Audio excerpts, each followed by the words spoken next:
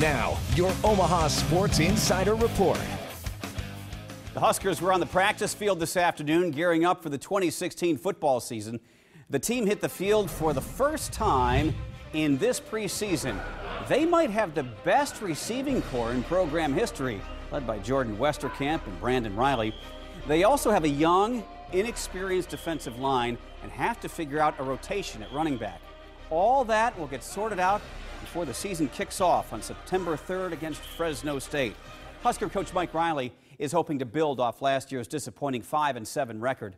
The coach feels there's a different vibe heading into the season. This team has had a, uh, a, a, kind of a, what I look at like a hungry theme during this whole off season, um, from the workouts to spring practice to heading into the summer with what they've been doing. Um, so it's there's some, uh, you know, I, I think some anxiousness and excitement for them about getting started. Uh, I think this team has lots of leadership. And Riley believes his returning players got a big boost from playing in the Foster Farms Bowl last December and defeating UCLA. National coaches are not counting on big things from Big Red, though. Nebraska did not make the preseason top 25 release today. In fact, get this, they finished tied for 38th. Yikes.